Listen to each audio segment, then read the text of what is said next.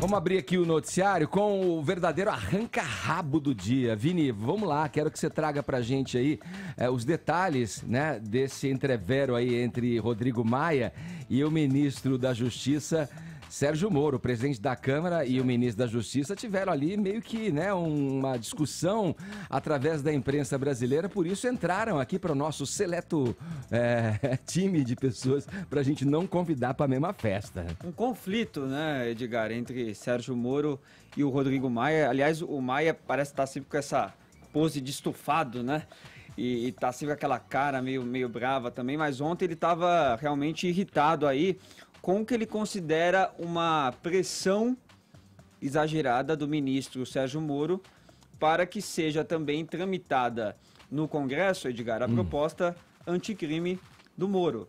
Sim. A gente sabe, né, a principal proposta, aquela que pede mais urgência, é a reforma da Previdência. Ontem foi um dia agitado também, né, com a proposta aí uh, que visa aí a carreira uh, militar, mas teve esse conflito entre Maia e Moro. O Moro esteve presente ontem no Congresso, foi fazer ali é, uma presença na, na, na, no lançamento da, da frente é, de segurança ali no, no Congresso, Edgar. E o que acontece?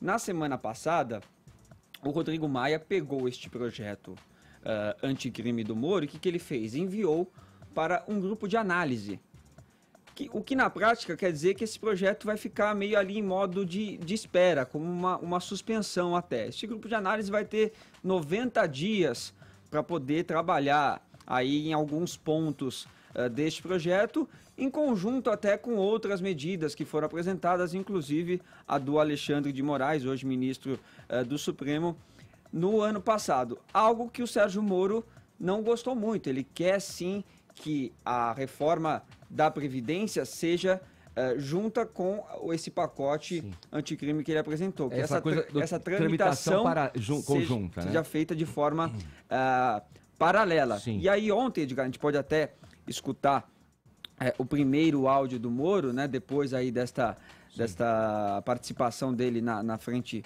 de, de, de segurança, o que ele falou sobre esta intenção dele de tramitar o seu projeto anticrime junto com a reforma da Previdência. Tá aqui, ó. Na minha avaliação, isso pode ser tra tramitar em conjunto, não haveria maiores problemas, mas nós vamos conversar, estamos abertos ao diálogo, evidentemente, e as decisões relativas aqui ao Congresso pertencem ao Congresso. O desejo do governo é que isso fosse, desde logo, encaminhado a comissões para debate, mas isso vai ser conversado respeitosamente com o deputado Rodrigo Maia.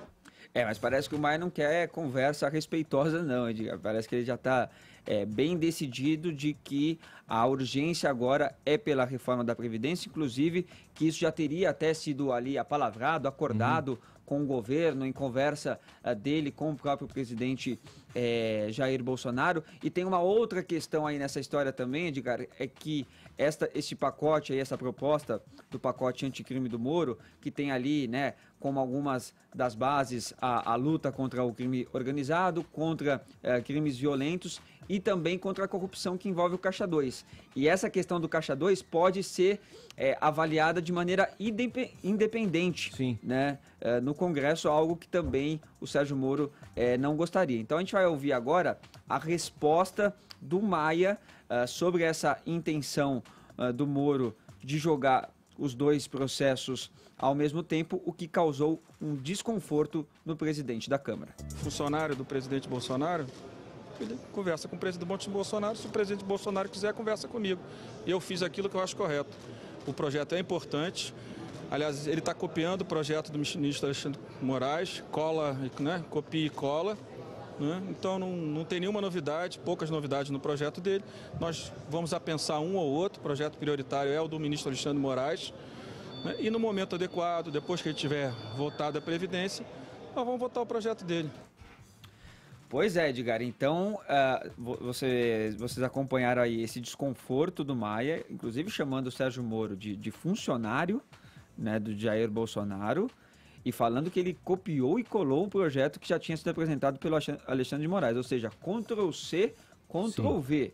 Mas eu né? achei que isso era costume de uma deputada, não do, dos ministros. Pois é, mas segundo o, o Sérgio Fefito, Fefito. Ele jogou no não ar. queira assim. criar outra Joguei no ar, polêmica. entendedores entenderão. Pera- Queira Peraí, criar outra rapaz. polêmica, Fefito. Vamos, vamos focar nessa aqui que já tá ah, Mas o bem, Vini- bem, bem quente, viu? E aí, Edgar, pra Sim. gente só finalizar, o Sérgio Moro respondeu, né, o Rodrigo Maia sobre essa declaração de maneira, digamos, um pouco mais cordial e respeitosa. Vamos A ouvir. única expectativa que eu tenho, atendendo aos anseios da sociedade contra o crime, é que o projeto tramite regularmente e seja debatido e aprimorado pelo Congresso com a urgência que o caso requer.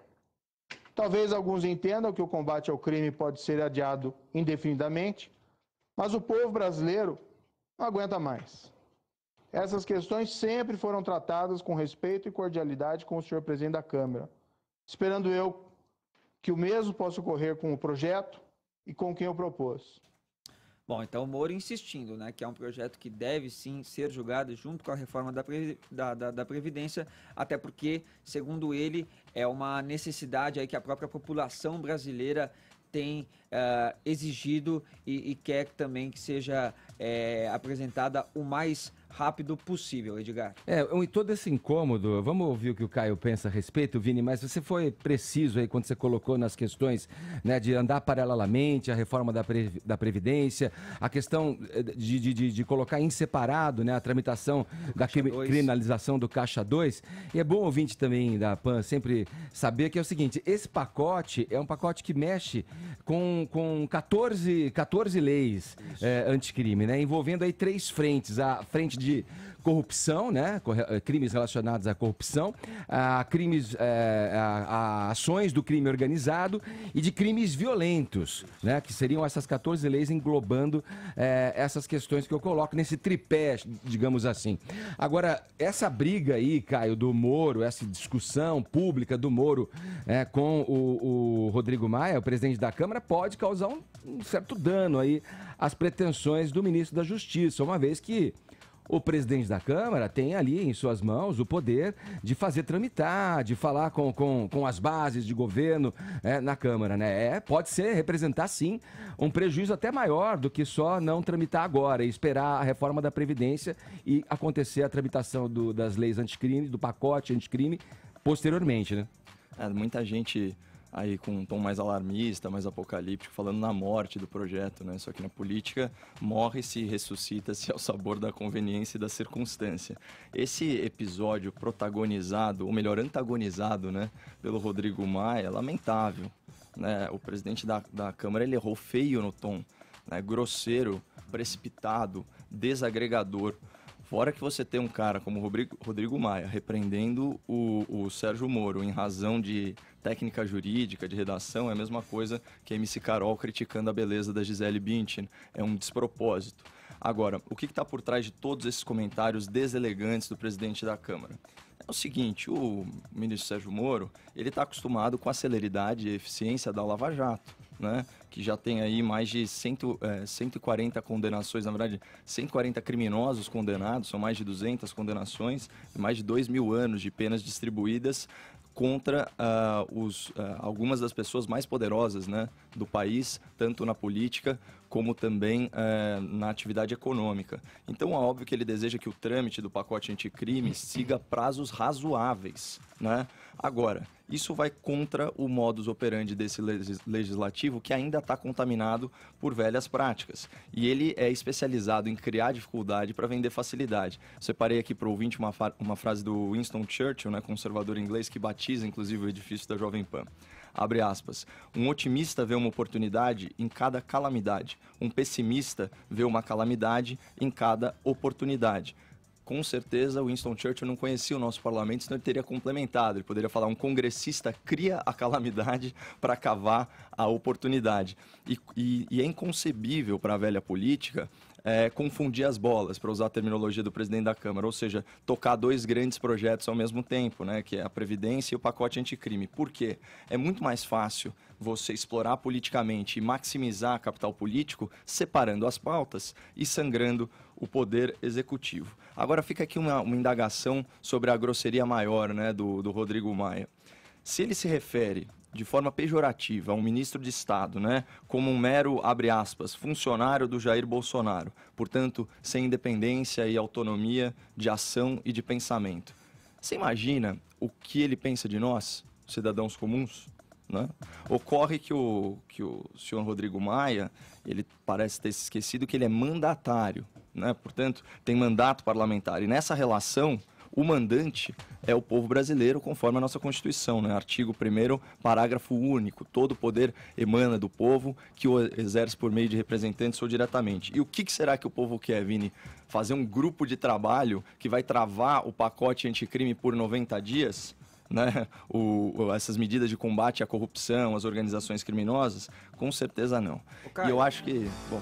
É, você acha, por exemplo, assim, que o, o o desconforto do Maia tem muito a ver dele achar que o Sérgio Moro está agindo meio que sozinho, né? E até a revelia aí do, do, do governo, talvez do, até do presidente Jair Bolsonaro, para que esse projeto seja tramitado em paralelo com a reforma da Previdência, fazendo uma, uma, uma pressão até por é, grupos de, de WhatsApp.